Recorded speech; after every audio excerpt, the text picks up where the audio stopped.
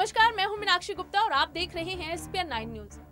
भटिंडा निगम चुनाव में 50 सीटों के नतीजे आ चुके हैं। कांग्रेस को 43 सीटें मिली हैं। वहीं अकाली दल को सात सीटों पर जीत हासिल हुई है। बीजेपी और आम आदमी पार्टी अपना खाता भी नहीं खोल पाई है। इसके अलावा वार्ड नंबर एक से वित्त मंत्री मनप्रीत सिंह बादल के खास नेता टहल सिंह संधू की पत्नी मनदीप कौर को 25 वोटों से हराकर अकाली दल की प्रत्याशी अमनदीप कौर विजेता बनी है। निगम चुनाव में इस बार कांग्रेस को मिली बढ़त के कारण अब निगम में तिरपन साल बाद कांग्रेस का मेयर बनेगा। मेयर की दौड़ में सबसे पहले वार्ड नंबर 48 से जीते कांग्रेस नेता जगरूप सिंह गिल का नाम सामने आ रहा है। हालाँकि कांग्रेस पार्टी की तरफ़ से अभी या चुनाव से पहले मेयर के बारे में किसी चेहरे का ऐलान नहीं किया गया।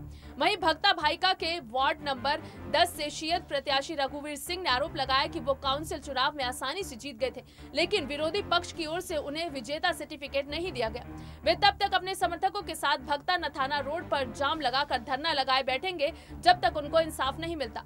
भटिंडा के 224 वार्डों में से एक पर कांग्रेस के प्रत्याशी जीत हासिल कर चुके हैं, जबकि 33 वार्ड पर शीयत प्रत्याशी जीते हैं। इसके अलावा ज़िले की नथाना काउंसिल में आपके तीन प्रत्याशी जीते हैं। बाकी जगहों पर आपका खाता नहीं खुला।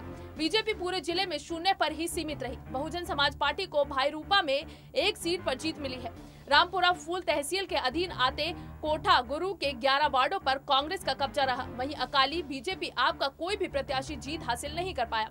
भक्ता भाईका के तेरह वार्डो में से नौ पर कांग्रेस, तीन पर अकाली दल, एक निर्दलीय दल प्रत्याशी ने जीत हासिल की। गाँव मलूका में 11 में से नौ पर कांग्रेसी, दो पर अकाली दल के प्रत्याशी जीते हैं। भाईरूपा में 13 में से आठ कांग्रेस, चार अकाली दल और एक बहुजन समाज पार्टी का प्रत्याशी जीत पाया है।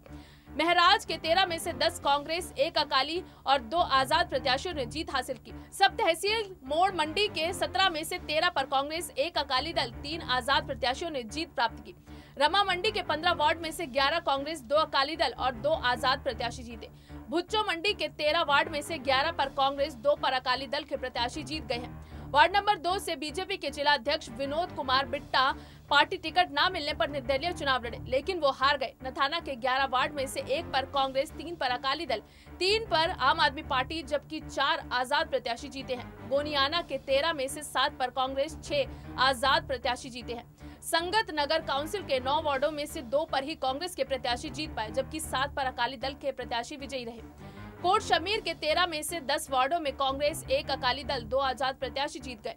कोट फत्ता के ग्यारह वार्डो में से नौ पर कांग्रेस, दो आज़ाद प्रत्याशी विजयी रहे। इस बार पूरे ज़िले में उनतीस निर्दलीय प्रत्याशियों को चुना गया है, जबकि पिछली बार पचास से ज़्यादा आज़ाद प्रत्याशी थे। फ़िलहाल के लिए बस इतना ही। देश और दुनिया से जुड़ी ताजे तमाम अपडेट्स के लिए आप जुड़े रहिए एसपीएन नाइन न्यूज़ के साथ। और अगर आपको हमारा वीडियो पसंद आया है तो इसे लाइक शेयर एंड कमेंट ज़रूर करें। साथ ही साथ हमारे चैनल एसपीएन नाइन न्यूज़ को भी ज़रूर सब्सक्राइब करें।